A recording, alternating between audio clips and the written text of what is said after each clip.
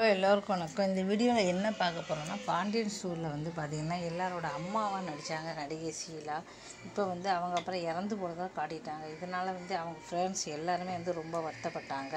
ஐயோ அவங்க ஒரு நல்ல நடிப்பாங்க. இப்போ அவங்க பார்க்க முடியலையே அப்படின்ட்டு வருத்தப்பட்டாங்க. அதுக்கப்புறம் இப்போ என்னென்னா விஜய் டிவியில் வந்து புதுசாக ஒரு நாடகம் வந்து ஆரம்பிக்க போகிறாங்க ஸோ அந்த நாடகத்துக்கு வந்து அவங்க நடிக்க போகிறாங்க அது மட்டும் கிடையாது இந்த விஜய் டிவியில் வந்து பார்த்திங்கன்னா ஏற்கனவே வந்து பாக்கியலட்சுமி சீரியல் இருக்குது அந்த பாக்கியலட்சுமி சீரியலில் ராதிகாவோட அம்மாவை வேற நடிச்சுக்கிட்டு இருக்காங்க அவங்க. இதனால் ரசிகர்கள் எல்லாருமே வந்து ரொம்ப சந்தோஷப்பட்டுருக்காங்க